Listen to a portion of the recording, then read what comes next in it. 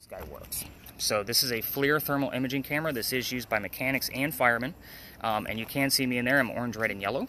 So that means I'm the warmest thing in here. Oh, we got mostly ladies. Sorry, Jerry. That means I'm the hottest thing in the video, ladies. So, so with that said, everything around me should be somewhat blue or black, right? We're looking for those blue or black spots to move on their own. We want to try to keep somebody's skin temperature in here because we want that high variance. Our skin temperature is going to be the warmest thing out here. Should not be over 99 degrees, by the way. I'm just going to point that out. Um, but with that said, it's going to give us the cold spot. It's going to move around. The coldest spot in the camera at that given time, it's going to be a blue dot. So when you get your video back tomorrow, because yes, you will get this full video back tomorrow. The software for this thing is horrible. We will start and stop this thing periodically throughout the night. I do have it recording now just so you guys can have that full demonstration at the beginning. So, with that said, Amanda, just because I remembered your name first, I didn't want to forget it. You're going to be my camera person all night long. You're going to Oh, hold it. got you. You're going to hold it horizontal just like that. Your camera's on the left-hand side where you're My blocking? Oh, no, Nope, other there you hand. There you go. So the orange square that's on your screen means that it's already recording. At times I'm going to say, Amanda, stop your video because we're going to kind of savor it and I'm going to splice it all together for you guys in order for tomorrow morning. Fair enough? go. Do I just press yeah. the stop button to stop it? Okay. And kind of give your hand a break. Pay no attention to the timer. Perfect. That's a cool little device. I want one of those. It is Yeah. phenomenal. I love that guy. So when I'm doing my own investigations, that guy's usually in a cargo pocket with just a little camera sticking out. So that way, Oh, it shows the temperature. nobody knows what I'm doing. Oh, that's cool. I can walk Yeah. around anywhere. so let's go through spirit boxes. We're going to use several different types tonight. So spirit boxes are on your TV shows and your YouTube videos. It's basically white noise through radio stations. It's going to flip through all of the radio stations at a very quick rate. Mine are slowed down. The ones on television, it's a rarity to find an actual disembodied voice, meaning something that is coming from the other side using the white noise to portray a message to us. Mine are slowed down because I want the radio DJs and commercials and song lyrics to give us those messages. In the event we can hear something out of this device, it's a 50 50 shot that we can make out. I can tie it to the location, a person in history I'm talking about, or even something with one of us. It happens all the time. However, keep it, this guy records the entire session, even on mute, even without any background noise. So, this is a very simple device to use. However, it is the hardest job out here. So, Pat, you have one button to worry about. You're going to control the volume. So, when I'm talking to the whole group, you're going to turn the wheel so it's all the way down. It's recording at a nice even level, even when it's on mute, folks. So, when you guys get this recording back, you're going to hear everything at a nice even volume. I will give you 15 to 20 markers of things that I caught when I review it. Keep in mind, guys, you're going to record probably a good six hours worth of data. I'm not going to go through it all. That's what y'all paid me for. Okay, so I'm going to go through that for probably 15 to 20 minutes and spot check it, and I'm going to give you those 15 to 20 different markers. Even if it's not relevant, it's going to help train your ear to listen for certain things. I am looking for specific details, not yes or no questions. We'll kind of go through that more as we hit our first stop. Tracy. Mm-hmm. Only because Jerry and I were talking about this on his podcast, on your podcast, about the different types of apps. So I actually wanted to show you guys one of the ones that I love to use. Um, this one is going to give us, this is another spirit box. It's going to give us a word from time to time in the center of the screen, just kind of like an Ovilus. And then it's going to save all those words to a list with timestamps. The cool thing about this is it has timestamps, which means I can check the audio, videos, or whatever else I need to do based on the timestamps. This last tour I had had 85 terms. I'm going to clear them out. We're all adults here. 80% of what comes up on this list is BS. It doesn't mean anything. This is meant to be a game and a hoax. The other 5 to 20%, I will tell you why it was relevant to our location or something going on with one of us, and the backlink to verify where I got my information from. Is that fair to everybody? That one goes to you. At times, I'll ask you, Tracy, where are we at with the list? There's a little white ribbon next to the word ribbon right now. Um, if you tap that, it'll bring up the whole list. You can scroll through it. I'll say, give me the last four or five terms. Let me see what's going on. Okay. Um, and then you just circle back at the top right. All right. Let's see. Let's see. Next. I need one more spirit box. All right. This is a standard spirit box. This is an SB7. So the only difference on this one versus the one that Pat has is it doesn't record. Oh, okay. So the two of you, the reason why I'm giving this one to you guys is because hers records audio.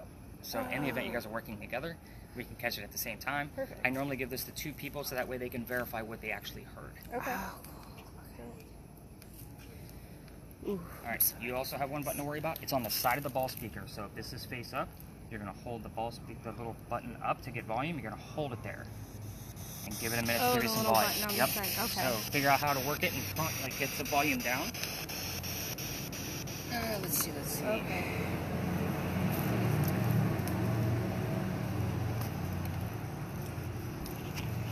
Peggy, you're my multitasker. We need some type of EMF device, electromagnetic field, in order to be able to determine if something is actually happening. So this is called a Mel Meter. Actually, it does three different functions. Your big numbers are EMF, electromagnetic fields. If it goes above 2.5, I want to take a look at it and try to debunk if it's coming from a building, a parking meter, so forth and so on. So again, if it goes above 2.5, in the event Amanda finds something on her camera, we can find out what's going on with that cold spot with the temperature. That's the bottom number. Okay? So it's going to measure through an ambient probe right here. The last thing that it has is a millimeter. So the millimeter, if anything gets close to the antenna, I'll give it a second to reset because we are standing pretty close to some wiring. If something gets close to it, it will go off. The closer it gets, obviously the higher pitch it's going to go. I'll show you more about that at our first location. Just for now, leave this little flap open for me so I can show you a little bit more. Focus on the numbers on the screen. All right, that's it. Let's go. No, sorry. I'm fine doing that. Oh no, you're gonna be working. So you're getting the brand new device. Was your thermal camera? Now, we have the thermal over That's here. what I meant. It was This is a full spectrum. full spectrum. Oh, so cool. So quick demo on this guy. Notice you all cannot see me in that photo or in the, the screen there. Should be mm-hmm. pretty dark. Let's turn on some lights. Ooh, ooh. So we are working with long range, Jerry, short range. So in the event you're with a group of people, you turn off the short range with the little red button. Um, we're only going to be recording in two spots, just because it kills the battery on this, and the files are giant. So again, we only have about I think it's like 47 minutes on here. Um, so I'll kind of give you the cue, but we'll show you more a little bit about that at the first stop. Oh, it's, it's pretty sturdy. Yeah, you can one-hand it if you need to. All right, so recap on what you guys, as far as your data, you're going to be getting back. So obviously a Spirit Box audio with a couple of markers. This audio here, full thermal imaging video, probably about 30 to 40 minutes of full spectrum video. Um, the full word list and any notes that I take from the two devices that are not recording. So you guys will see me taking notes just like a little scientist, because that's what I am. All right, so questions, comments, concerns? Yes, ma'am. Um, when do I turn it up? I will give you your cue. You okay? Let's Same talk. on this, I take it, yeah. Yeah, Okay, I'll perfect. always say spirit box is up, and that kind of is also the cue for your motion sensor, which again, I got to show you more about that. Great. Let's talk about this place behind me. This is called Big John's Tavern now, which just opened up about two weeks ago.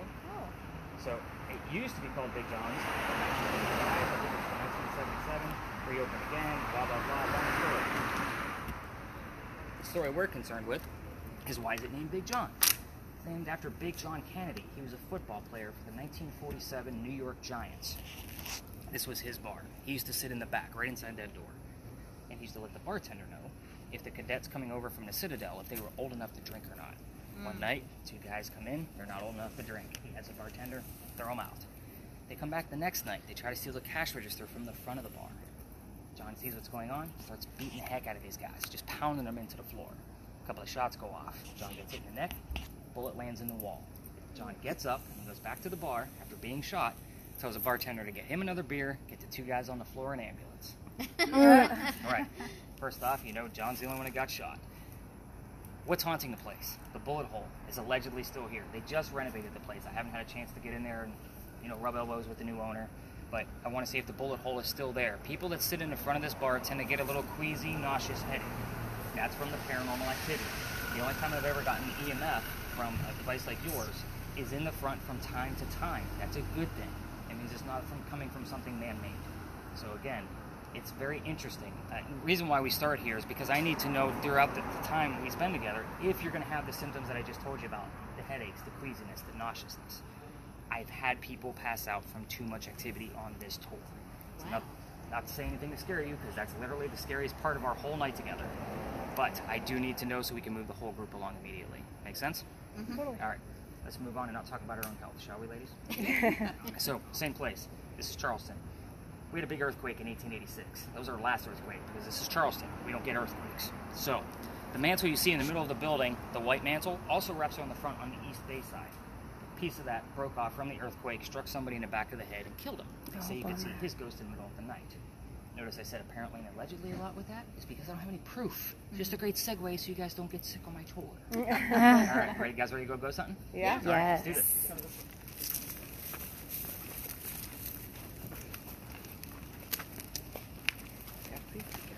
I know, I almost walked into that.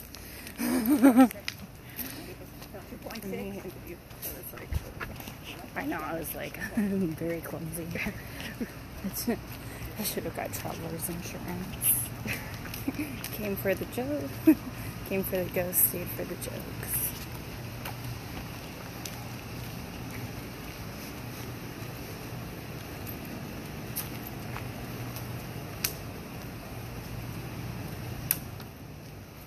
Should I be recording you or just like Anybody, around? anybody's Anybody? skin temperature. Okay. You can't see who anybody is in that picture. It's just a bunch of colorful blobs.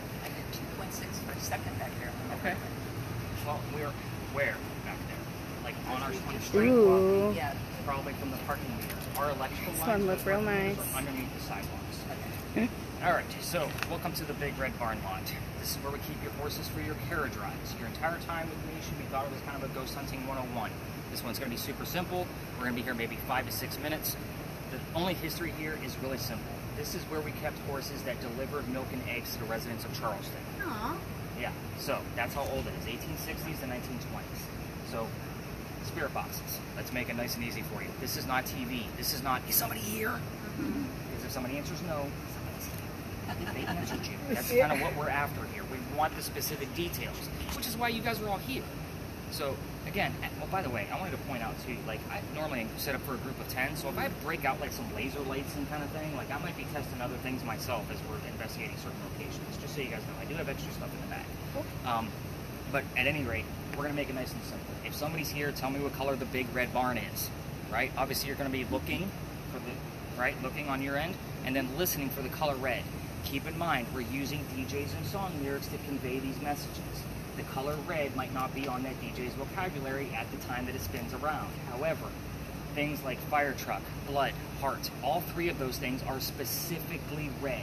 What color is the big red barn? Fire truck. That's an acceptable answer to me. I've gotten it before. I've had blood. I've had heart. I've had these things pop up before. That's one clue because it's a specific answer. We're also still close to Big John. Big John's teammates like to come through all the time.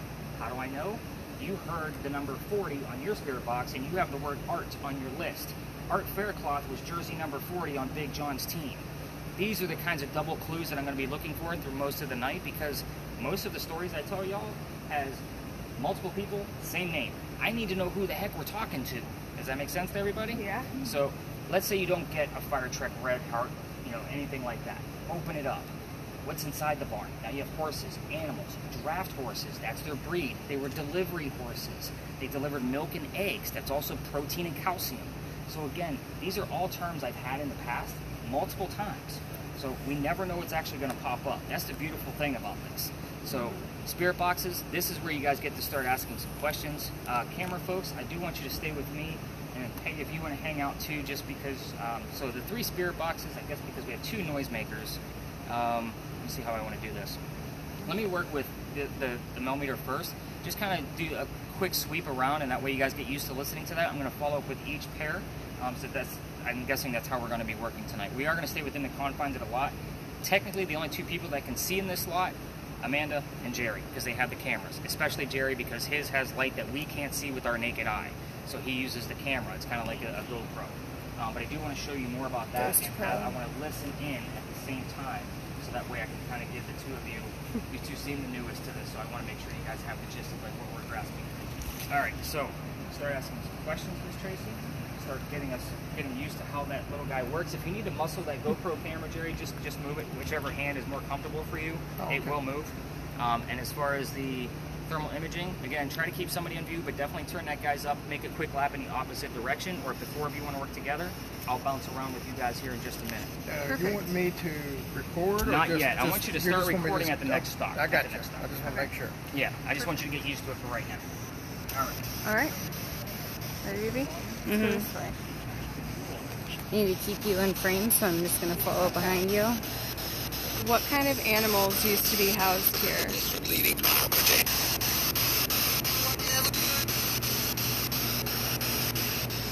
Oh, baby, right in front of your hand. What? Showing blue.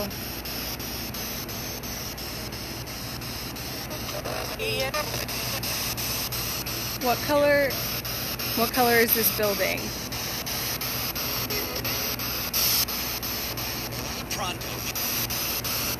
Showing blue.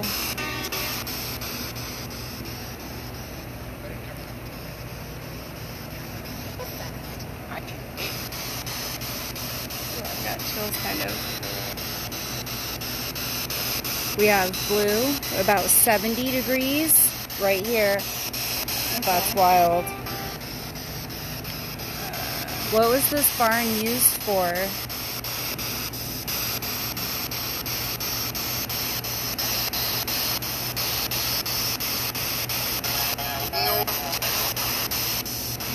No, good answer. Uh,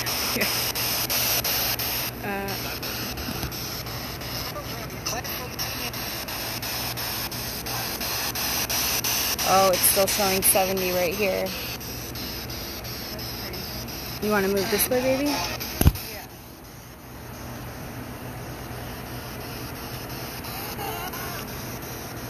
What kind of animals were housed here?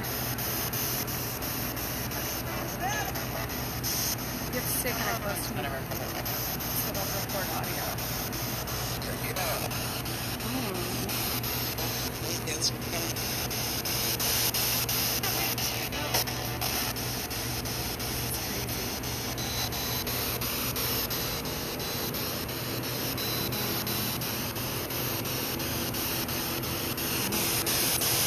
Are you at rest?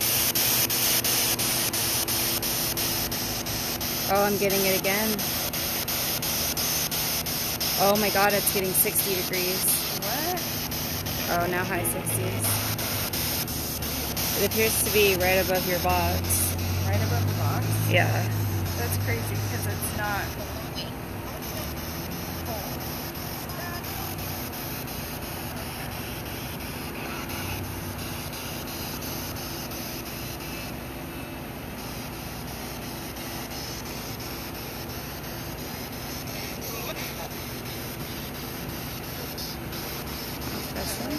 I don't. Um,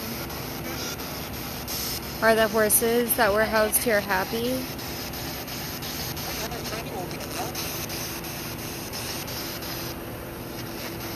what were the carriage horses used for?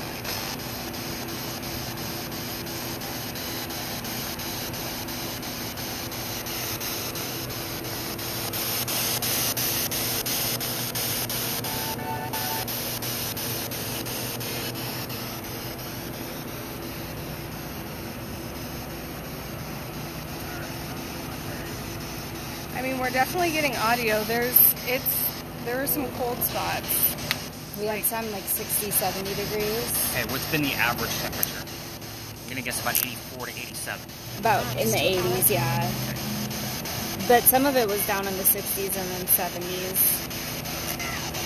And it was like right above her box and then below, or oh. like behind, kind of. that's stuff I can definitely look at when I'm watching the video. Did you guys say something when that occurred so I can find it? Yeah, I said it's right above the box. No, nice. That's, Yeah. exactly what we want. Yeah. Um, it was when she asked the first few questions, though. We, we got, I don't know, the radio or something picked up. Yeah, I couldn't. I couldn't make out exactly what it said, but we tried to stay close so that you could pick up the audio. Do you have any other example questions we could ask? I'm trying to keep it like simple, but Right.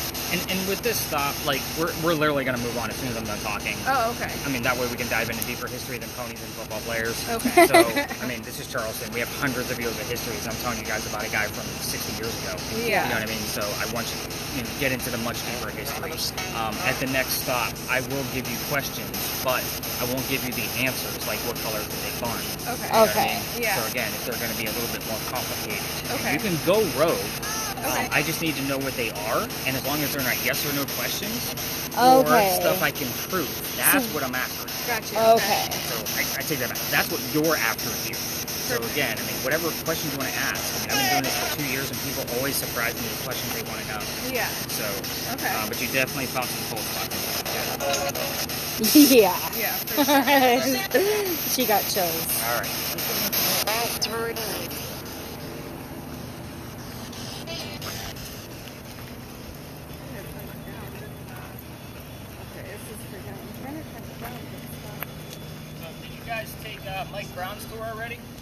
No, we're doing that tomorrow. I can't get this to turn down.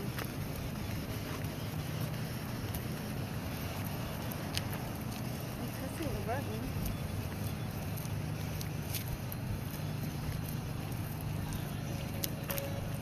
Okay.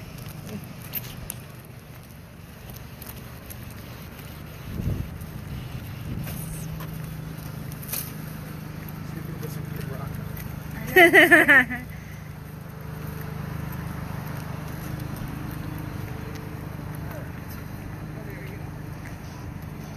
So we can, while we're here and I'm giving you the history of this location, we can definitely turn the spirit boxes down, and you can definitely click that little white button in the back so the light isn't distracting for all of us. Other way. Other way? There you go. Perfect. All right. So yours is down, so we're good. What do you got going on? It Oh, we got You wanna know 60 degrees over here. 70, exactly 60. the servants and slaves were for the Pinckney home. it says. It says the word slave. Oh, low 60s. Oh. So, welcome to the Pinckney Mansion site, everybody. This is one of my most haunted spots. I love this place. Yeah, we got 50 degrees. 60. They had a couple of cold spots that I definitely need to dive into while we were over at the Big Red Barn. Just so y'all know, it was actually right above their spirit box device. Um, so, and she was pretty close. So hopefully, it picked up some of the audio. I couldn't make any of it out, but hopefully, we can through the video. yeah. Um, so, I guess I should start with I'm not going to be giving you questions like what color is George Washington's white horse, like what we did with the Big Red Barn. Okay, it's, this is going to be a much more complicated. This is kind of like the level two. We're gonna, we are going to spend a good 10 to 15 minutes here, and I know it's just a parking lot. So welcome to another beautiful site of Charleston. But this is a place where we get to spread out a little bit, um, and we actually get to explore. I do get a lot of activity out of this location. So let's get into it. Eliza and Charles Pinckney, their mansion was in the front. Eliza's garden was lined up with that left tree over there and came all the way across the lot. And as you already know, we're standing where the slave and servant quarters would have been. It actually overlapped this median line right here a little bit, so they did own a little bit further back. So all of these are newer developments. So who the heck were Charles and Eliza Pinckney? So they had a son named Charles, they had a nephew named Charles. That's three Charleses. Remember I told you about the multiple names? The son and the nephew, signers of the Constitution for South Carolina. So it's a pretty big deal for us, and but you guys are all on vacation and nobody wants to talk about politics, including me. So we're gonna talk about Eliza. Eliza was way cooler anyway. So Eliza, she married Charles at a young age. I'm not going to give you what that age was. I'm just going to tell you that Charles was over double her age. Mm-hmm. Big age gap, just so you know. She married him because her father over in England thought he was dying. She didn't believe it. She didn't think he was going to be going anytime soon. So she got married. It Wasn't for citizenship, wasn't for a green card. There was no such thing. This is the 1740s. I'm boring Jerry already. So, again, 1740s. No such thing yet. She actually married him out of love. She was right. Dad didn't die right away. He starts sending over gifts from England. One of those gifts happened to be indigo. You guys have been here for at least a day. You've seen the word indigo a few times, I'm sure. It's a pretty big deal. Indigo is a plant that makes blue dye that makes our blue jeans blue. Anybody here wearing blue jeans? Yes, we got a couple. So that's how we still use it. You have indigo in your pants right now. So yeah, I know. I, I know it sounds like a weird saying to say, but but it's exactly what it is. Oh, and we have coveralls. Like seriously, how did I miss the coveralls? The overalls. Over, sorry. Overall, a great look. Lots of indigo. So, she had to learn from her slaves how to keep it cultivated in our weird temperatures. It does get cold here in January, February, March. So once she figured out how to keep it going, she moved it up to a, their other plantation in Mount Pleasant, just north of here. She calls Dad, not literally because it's the 1750s, says, "Hey Dad, I need some places to be able to sell this. We, we're missing out on a lot because rice plantations in Charleston were going downhill." She swoops in with her indigo plants. Boom, we have a businesswoman in the middle of colonial times. Something absolutely unheard of during that time. So, I know, right? So you should see me during Women's History Month. Like I'm, I'm a cheerleader. I swear. Most of my stories are about women. Um, but anyway, so a couple of weird facts because that's. I mean, I'm just giving you the tip of the iceberg of what she's done, but the weird stuff. Obviously, you can ask about how old she was when she got married, and then obviously how old Charles was. You can ask what happened to the mansion. It's obviously not here anymore. Then you can ask what that tragedy was. Obviously, it it was a tragedy of some sort. That's the only clue I'm going to give you. Eliza, the one I'm speaking of, was the second wife named Eliza from Charles. Yeah. They both went by their maiden names. I think we're all adults here. I don't have to explain what a maiden name is. It's good. they both started with the letter L. Again, the only clue I'm going to give you. So it's an L name of some sort. Uh, as far as her children go, tread lightly. There is a tragedy among those children. Ask anything as, as far as like maybe how many kids, what were their names, what were they famous for. Leave it alone. If you start poking the bear on that tragedy, all activity will stop. I've seen it dozens and dozens of times, and I go home scratching my head, going, "Why didn't we have much at the Pinckney Mansion site?" I get a phone call, Nick, I'm so sorry. I asked about the tragedy of her child. Okay, I get it, but it stops for the rest of the night. There's literally nothing. I'm like pulling strings trying to make stuff happen. Um, as far as her death, she's pretty open. You want to ask anything about her death? Eliza, how old were you when you died? What did you die from? Where are you buried? What U.S. president was a pallbearer at your funeral? Again, that's, I know, an interesting question, and you cannot mistake that answer when it pops up. Again, you are looking for those details. If you want to go rogue, I cannot prove anything about the slaves that were living back here. I just can't do it. There's no record. There's a few first names in some of her letter books, but that's about it. It's not much there. So, look for things I can prove. Not, Eliza, were you happy in your marriage? First off, that's a yes or no question, and I can't prove if she was happy or not. we want dates, we want numbers, birthdays, whatever things that she was famous for. Take that for granted. Maybe dive deep into what she liked to do. Those are things that I can actually look up and see what I can find out if I don't already know it. Again, I'm not the glossary of Pinckney family. However, I do know quite a bit, and I know a lot about the children because they like to pop up a lot. So The actual children do. the children love to come through. Yeah, it's very interesting. And the clues are dominant. Like, I know exactly as soon as I hear certain phrases. So, again, whatever you hear on those two noisy spirit boxes, there's things about the kids you might not know about, that you don't know about. Tell me what you hear. Kind of keep tally. You will see me bouncing around from group to group, seeing where we're, excuse me, where we're at with things, and then cluing you all in on what else is happening. So if you heard something and then you have a word, I'm going to let everybody know what's going on, so that way we can just keep continuing. Going to spend about 10 10 to 15 minutes here. You are going to shoot some video. Did it shut off? I wonder if that battery drained. Looks like it may have. I don't see the screen on that. I'll have to swap that battery out. Yeah, it's definitely not on. I haven't turned it off. It normally doesn't turn off due to activity. Inactivity. Yeah, that battery's done. That's weird. Man. You see how it's kind of giving me all these weird lines? Yeah, this is stuff I can't make up. it's, it's, that battery's drained. I got more.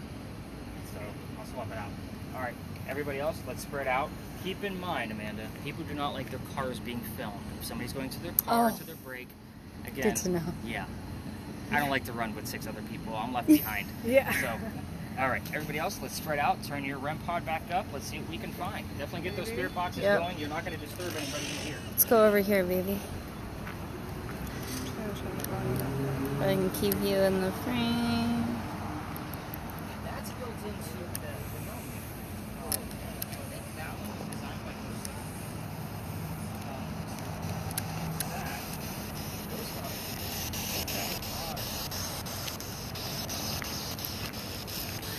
Twerking. Twerking. Eliza, how old were you when you died?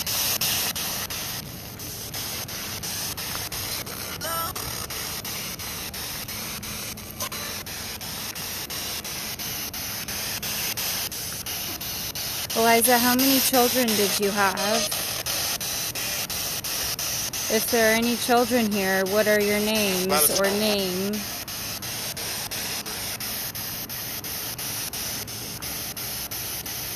What were your children's favorite activities?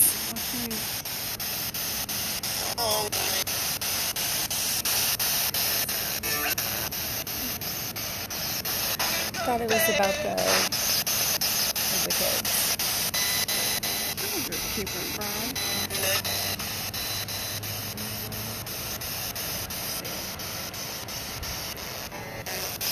How old were you when you and Charles got married?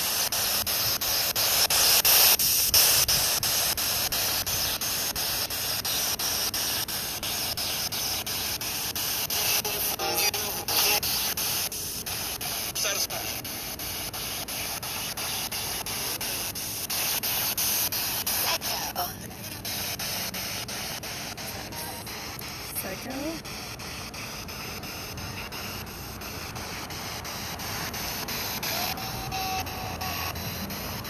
Who was the pallbearer at your funeral? Which U.S. president?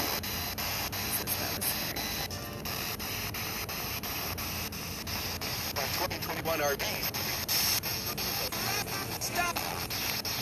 2021.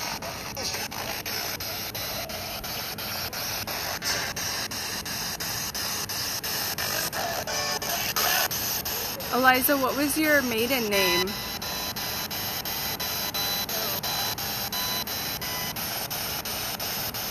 Eliza, what was your middle name?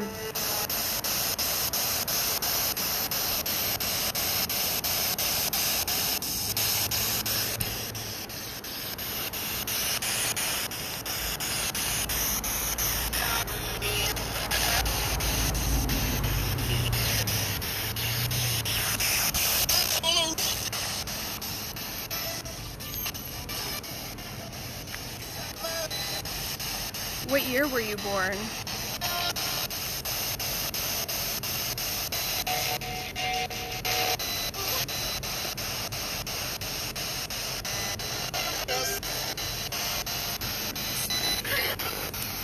This is really scary.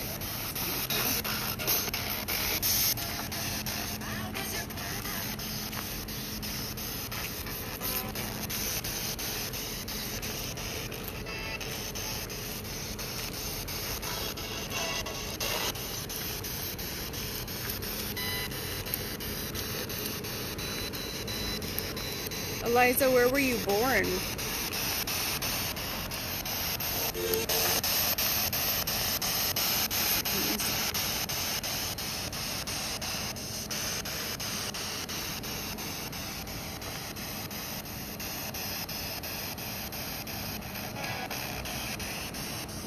What was your father's name?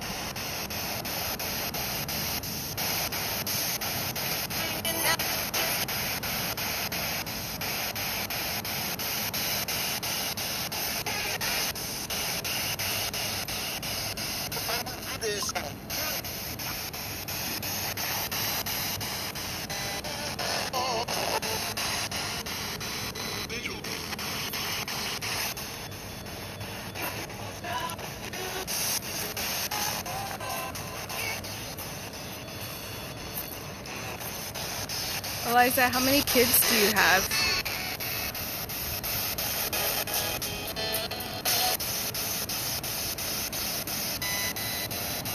Eliza, did any of the servants have children here?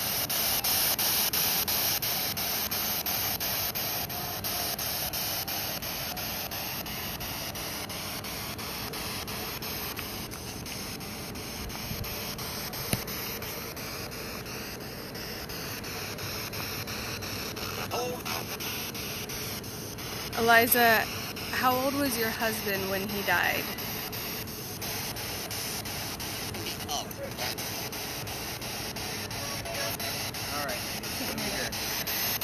Not a whole, I mean, Not a lot, but whenever we answer ask questions, this we hear some kind of music Yeah. or some kind of little bit of lyrics. there's been a couple freaky noises too, yeah. Yeah. Okay. Yeah. Well, we'll all hear them. On video. Perfect.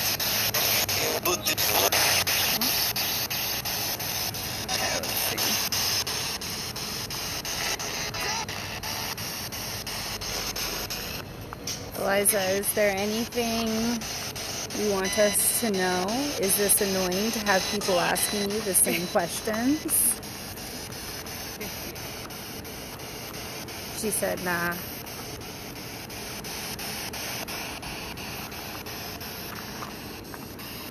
Want to go over here? Yeah. Eliza, what happened to the mansion?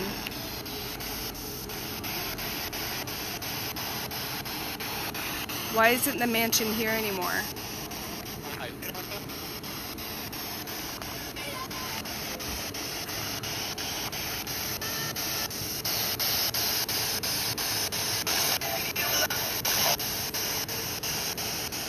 What happened to the mansion?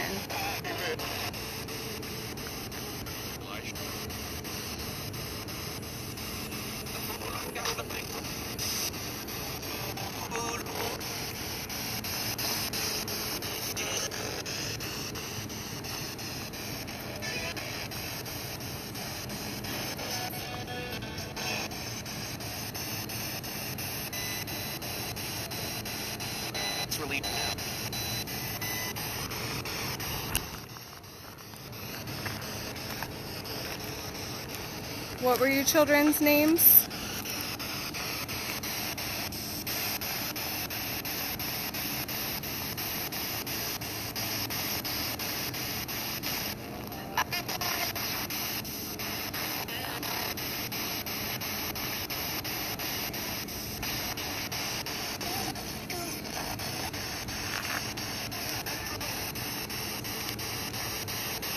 Eliza, how did your husband die?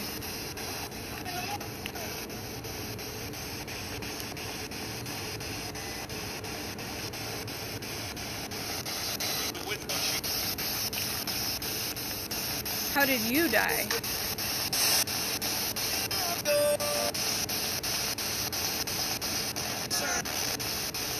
How did you die?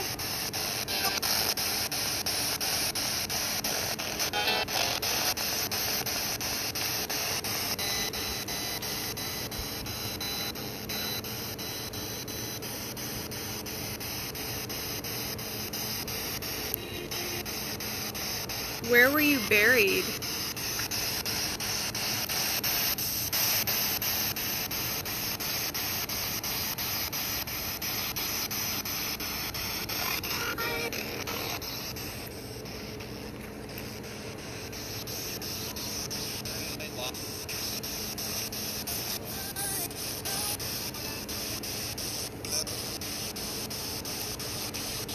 How much money was your indigo business worth? F O.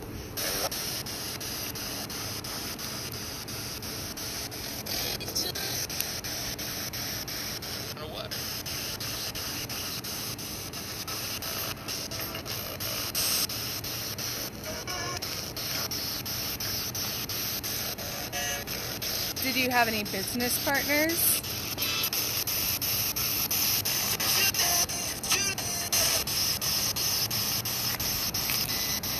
Sounded like Julie. Julie, Julie, Julie. Um,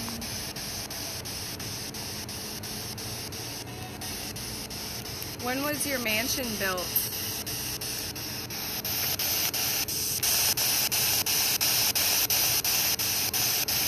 Ooh, I'm getting the 60s again.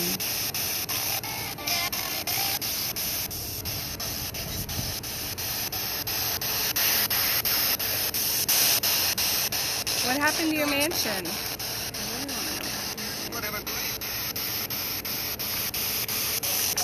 Eliza, can you please tell us what happened to your mansion?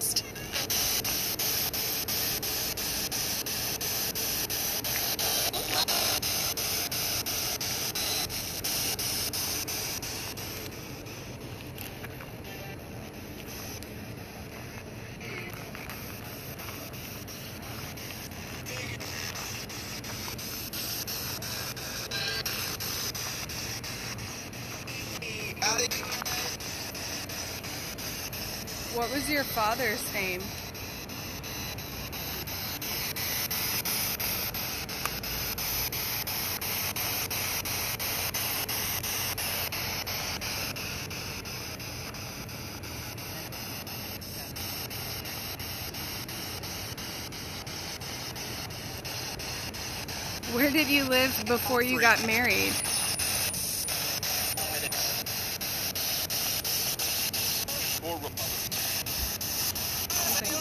Europe. Like yeah. Eliza, what color was your mansion once it was built here?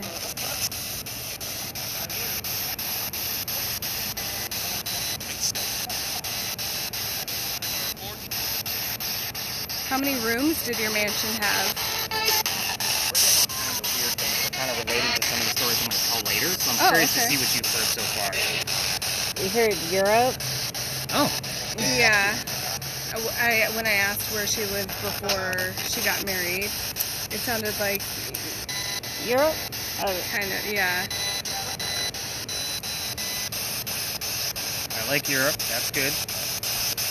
Home with the Um, you can ask where she was born because it was not Europe. okay. Okay. I did ask that.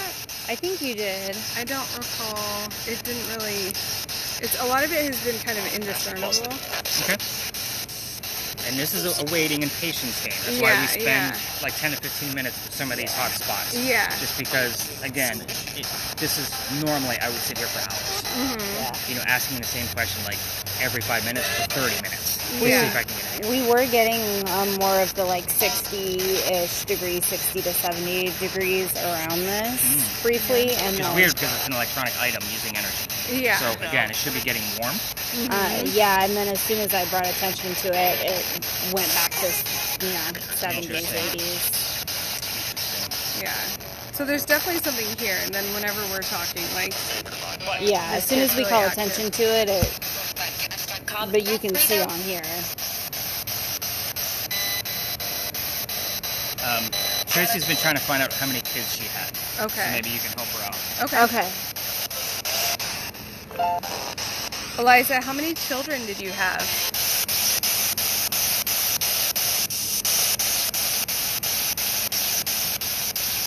Eliza, can you tell us how many children you had? Family practice. Said family practice. Washington. Oh, I just got chills. My circle. Did that just say George Washington? I've got chills. Is it cold by me, baby? It was. It was in the 60s. Eliza, can you please tell us how many children you had?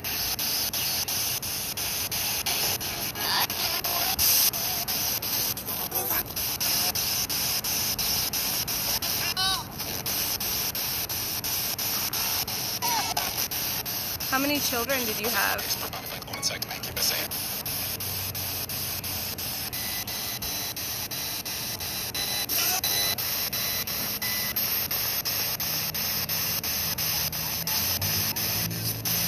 Eliza, what were your children's names?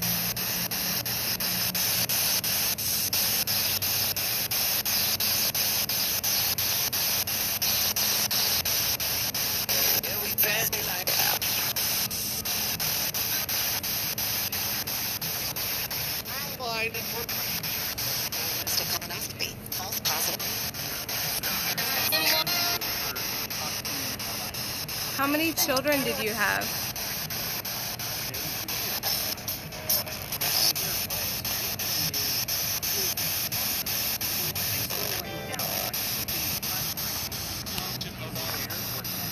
Okay, we don't want to talk about that.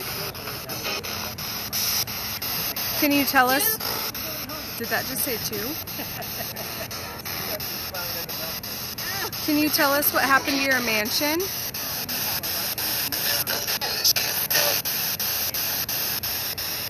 What happened to your mansion?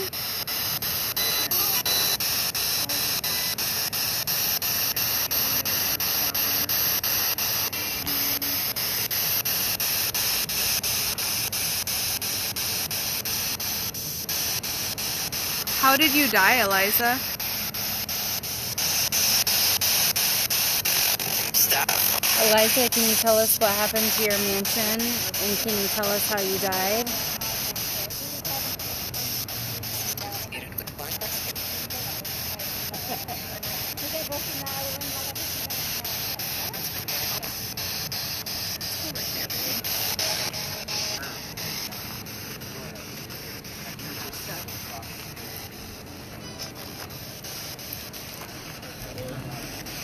That almost sounded like it said four.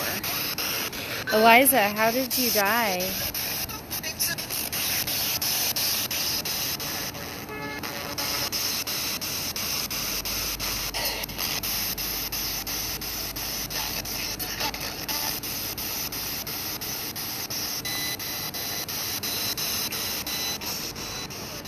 What happened to your mansion?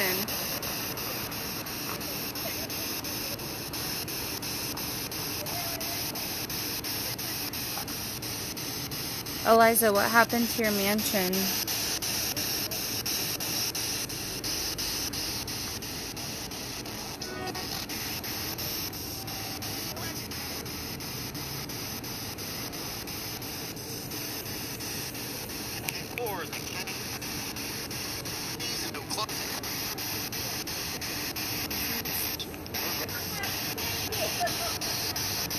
What were your What were your children's names?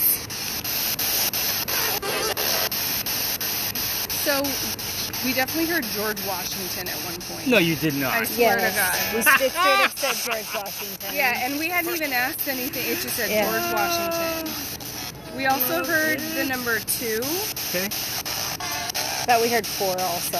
We, we heard four also. That was a little bit later, but I feel like the two is definitely more clear. But But wrong. But George Washington was 100%. Oh, 100%. Was that the pallbearer? That was weird because everything else has been really like kind of fragmented, but Yeah. that was like weird pit bull at one point, but we assumed that had nothing to do with the You situation. never know. you never know. Because I've heard drop it like it's hot when people ask me what happened to the mansion. All right.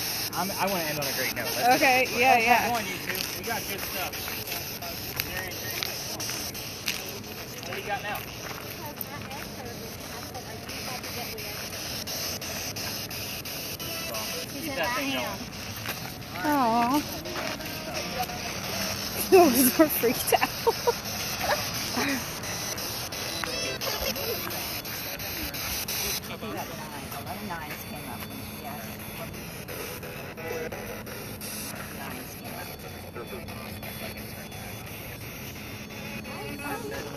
this we have like really great stuff.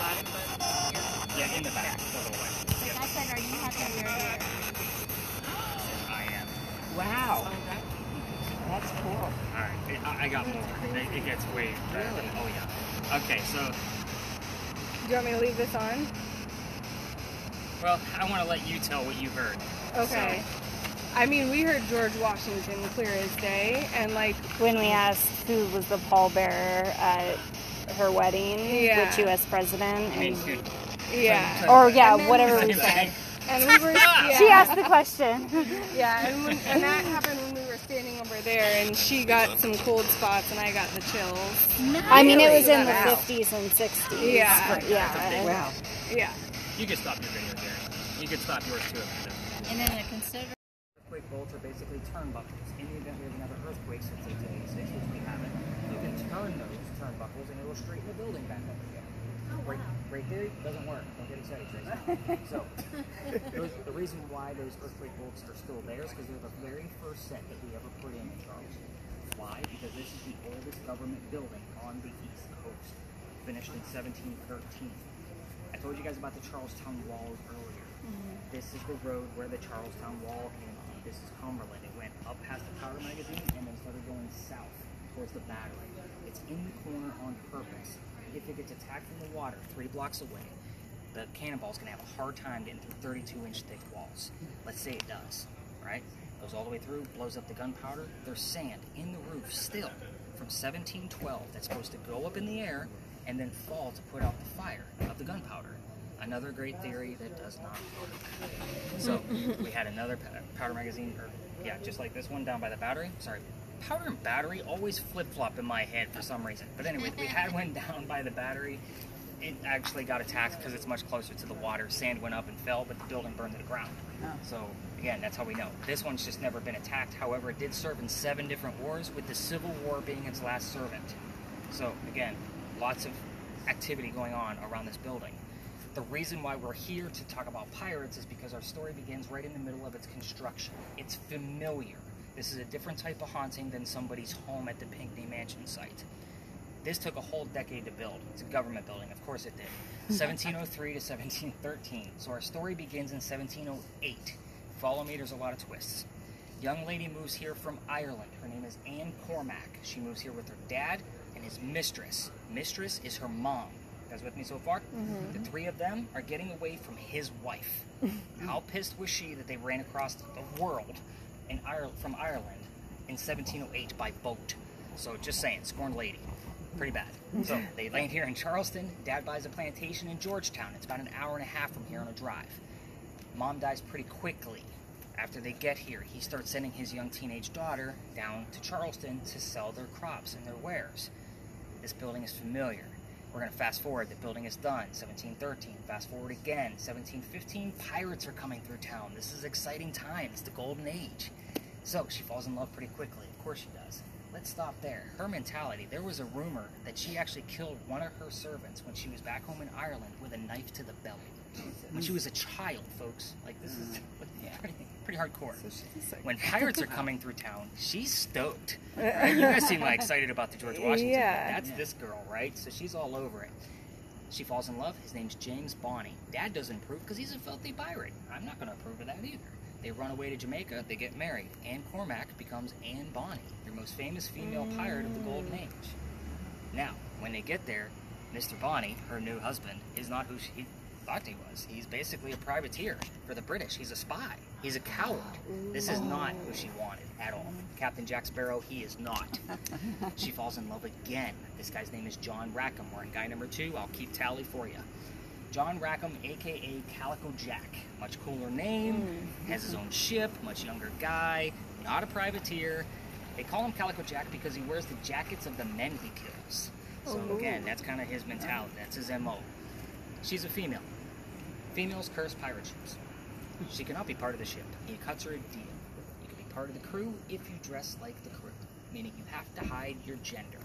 She's okay with this cross dressing because dad, back in Ireland, used to dress her as a boy to hide her away from his wife. You guys with me on that one? Yeah. Yeah. Yeah. So she's like, all right, let's do this. I want to be a pirate. You guys see the large groups coming through the other way? hmm That's what we're allowed to go up to. I wonder. Jeez. Yeah. So anyway, back to the story. She's part of the crew. She's allowed to be a female in his quarters. Of course, he's the captain. She eventually gets pregnant, but you cannot have a pregnant pirate dude on the crew. He drops her off in Cuba to keep everything going. Have the baby there. These are friends of mine. Come back. We'll figure it out later. She comes back. There's no baby. We have no idea what happened to that child.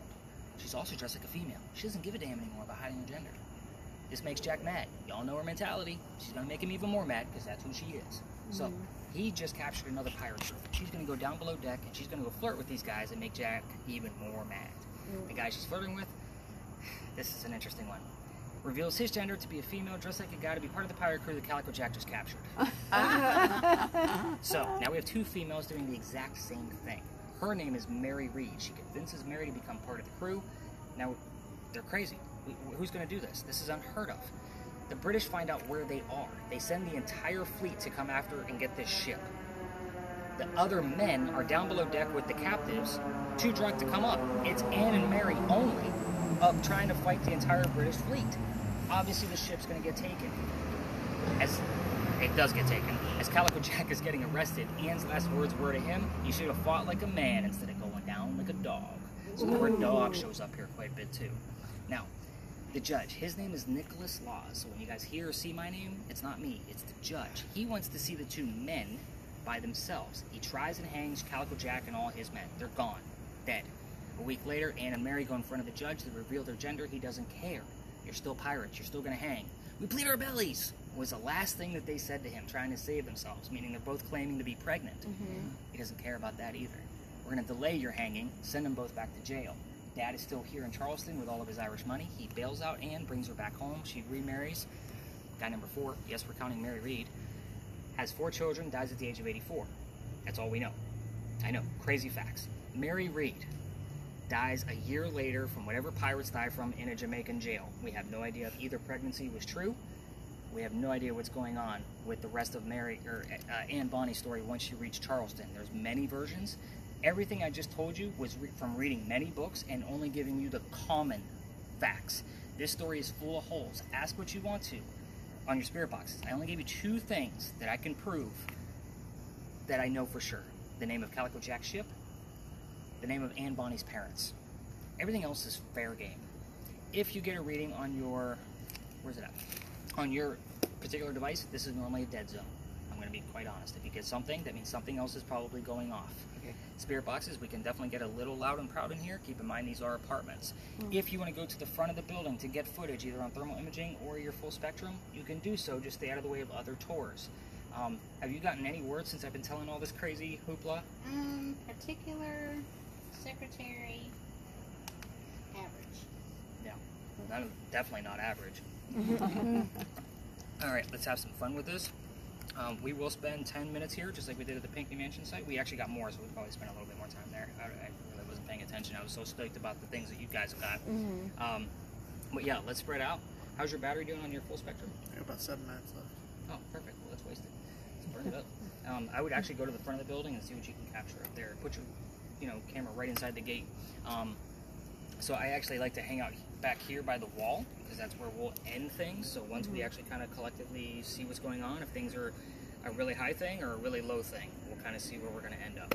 Have Under some- bed just popped up. Under bed. It's weird. Yeah.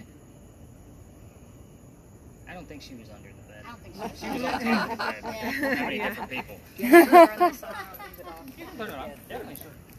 Yeah, I'm more like the numbers are normally get. You get motion, that's a whole different story.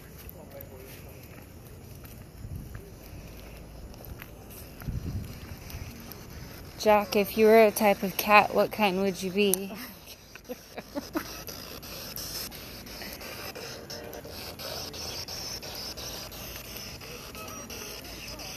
What was the name of Calico Jack's ship?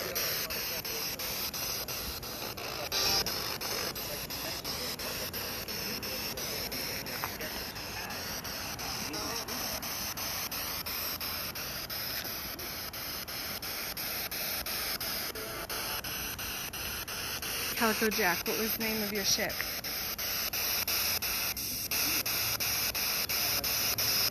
What? Where? On me? Calico Jack, what was the name of your ship? 40s. Calico Jack, what was the name of your ship?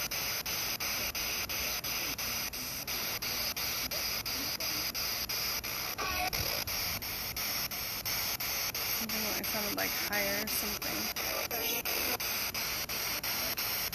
Jack, what was the name of your ship?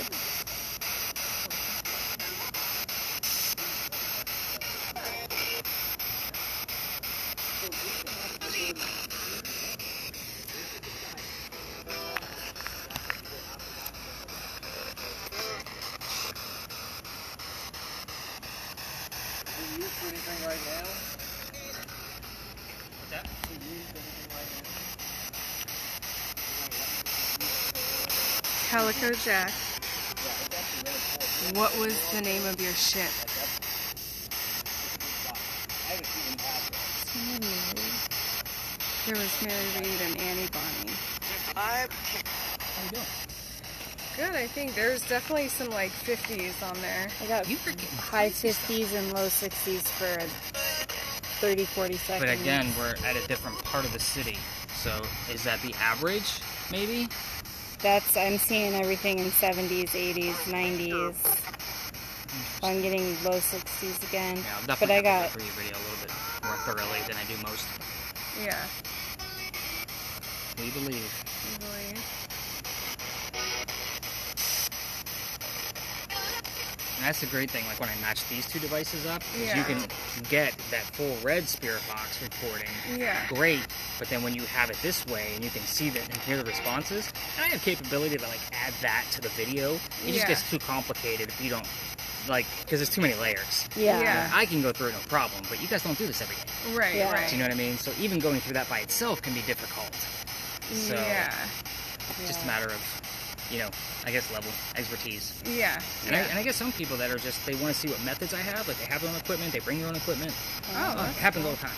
yeah. So, Oh, I, mean, I, I see all kinds of people. yeah. I bet. I, Yeah. mean, I get Like anywhere from full five year olds to hundred people, you know, Yeah. hundred year old people like Oh, that. wow. Yeah, that are like trying to contact lost hog relatives and things like that. I'm like, Oh.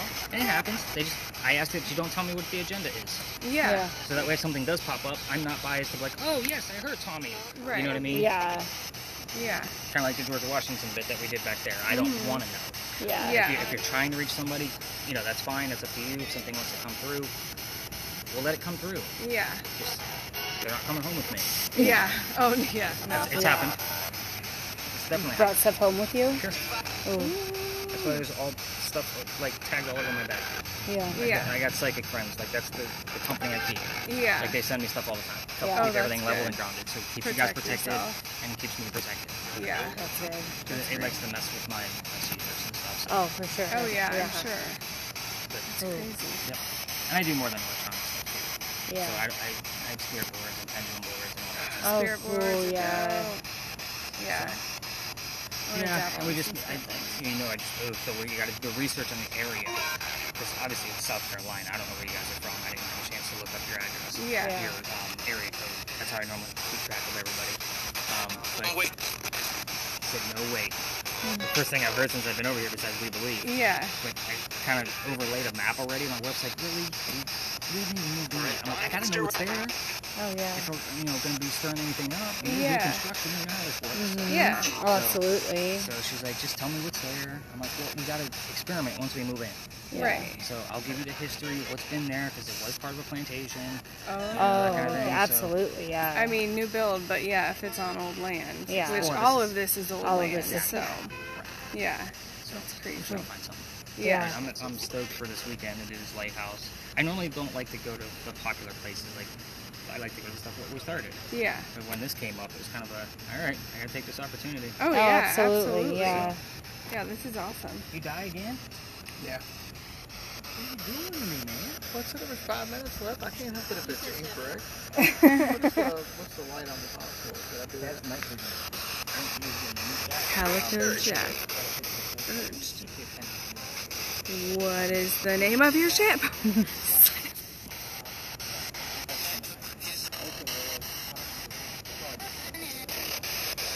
Calico Jack, what is the name of your ship?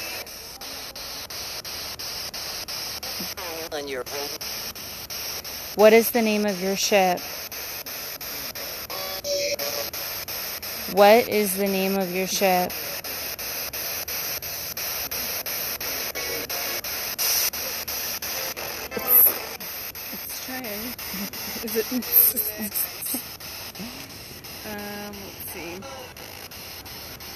What is the name of your ship, Chalico? Calico. Calico Jack, what is the name of your ship? Blue or Blue or yellow? Was your ship blue or yellow? Positive. Weird. Are you still recording? I heard higher earlier too. I don't know if that means anything. looking cold. Calico Jack, what is the name of your ship?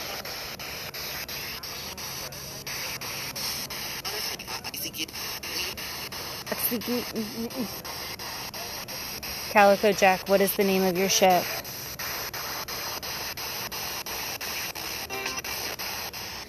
Calico Jack, where did you die? Jamaica? Puerto Rico? Another place. Body. Ooh. Calico Jack, where did you die? On our island. On an island. You just asked Calico Jack where he died, and it said on an island. I just got chills. We'll take That was All really right, dude. Uh,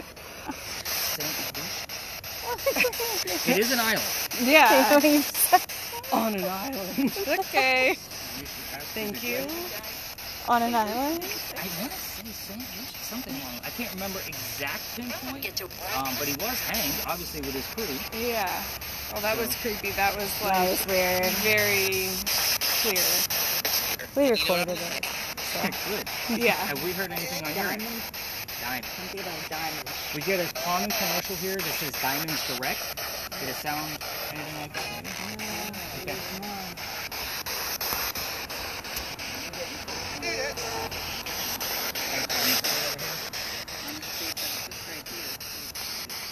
Calico. Calico Jack, can you tell us where you died?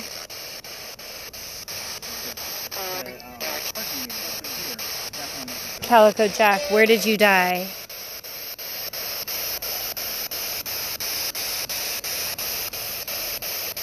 Calico Jack, where did you die? I know. Yeah. Yeah. I know. We heard higher and blue and yellow, but I don't know what that means. Yeah. Victim. I just heard victim. Yeah. And she did say, don't go down like a dog. Yeah. Alright, so from here, do you have any other words, Tracy, that came up? Uh, just head. Hmm. A. A, letter A. like as in Anne Bonny. Oh, could be. So we'll see if anything else pops up on the recording, the Spirit Box recording. Um, so from here, I'm going to start collecting devices. Where did you guys all park? Where do I need to direct you guys? We were at the I'm Mills right next to where you. You were saying. Started, started. Mills Brand Wyndham was staying. Oh, so you're actually we're going up this way. Yeah. Yeah. Two of you? We're up on King Street. We're So Ubering you- back, yeah, so we're four are gonna wander this way. around. Yeah. You two are going that way. All right, so you guys will have